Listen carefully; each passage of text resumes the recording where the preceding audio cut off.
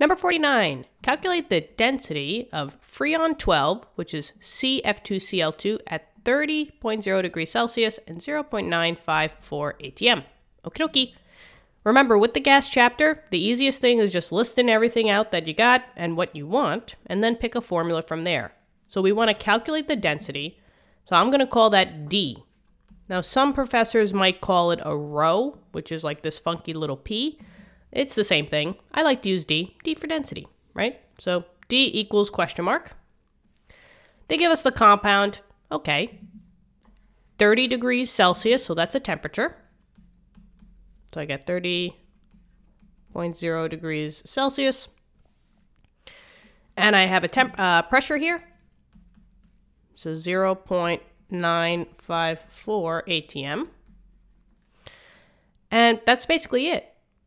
So we don't have any sets here, so we're not going to be using the combined gas equation, and we're keying in on this density. If they're asking for a density and you're using, or you're talking about gases, chances are you're going to use a derivation of PV equals nRT, which is this formula. It's PMM equals DRT. The other one was PV equals nRT. Now we just exchange the V for MM and the n for the d. Now, we still have the r value here, so that's the constant number. 0.0821 is what I like to use. And still has the same units. ATM times liter over mole times Kelvin. So when we use this formula, the P, the pressure, still has to be in ATM. So we're good for that. They gave it to us in ATM, so check. MM is a new thing. MM is one variable. This is molar mass. And this comes from the actual compound. Oh, that's why they gave me the compound. So if I have CF2, Cl2, how would we find a molar mass? Remember, a molar mass is gram per mole. And we just find that on the periodic table. You just got to calculate you know, the molar mass, we have two fluorines, two chlorines, and one carbon. So just add them up. So let's see. I got 12.01 for the carbon plus 19 times 2 for the fluorine, and then 35.45 uh, times 2 for the chlorine. and I get 120.91 gram per mole. And this is going to be the MM. So we're good with this one. The density is D. And that's what we're trying to solve for. So I'm going to just highlight this one. The R is that constant number. And remember, the temperature, T, it has to be in Kelvin, right? So that doesn't change. But uh-oh, they gave it to us in Celsius. So always convert first before you use the formula. So I just got to go into Kelvin. We know that conversion, right? From Celsius to Kelvin, all we got to do is just plus 273. If you want to be more specific, you could plus 273.15, but I think this will, you know, do its justice. 30 plus 273, I get 303. Okay.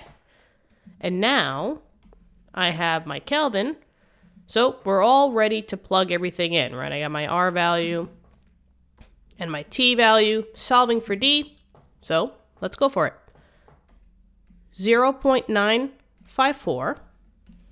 My molar mass now, we just found that out, was 120.91. And this equals the density. So I'm just going to label that as x. You could label it as d, whatever you want to do. Times by the r value, 0.0821. And then times by the new temperature in Kelvin, 303.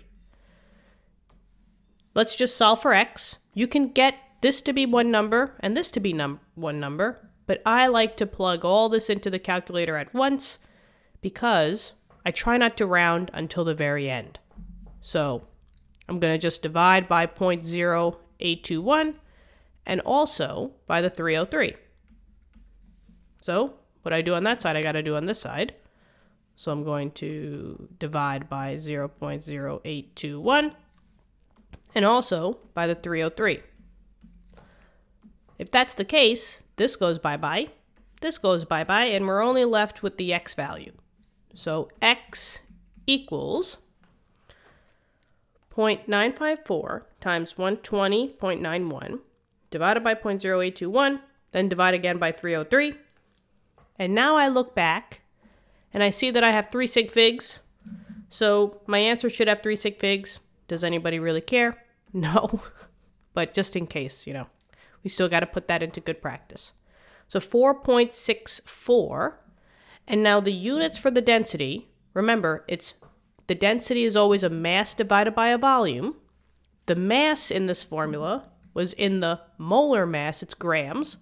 So this would always be G. And then if you search for the volume in this formula, you'll find it in the R value, right? The R value still has a liter. So this would be grams per liter, not grams per mil. And that's your density. So it's 4.64 grams per liter. That's it, guys.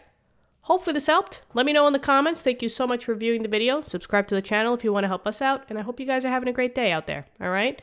Uh, stay safe. And I will see you all later. Have an awesome day. Bye.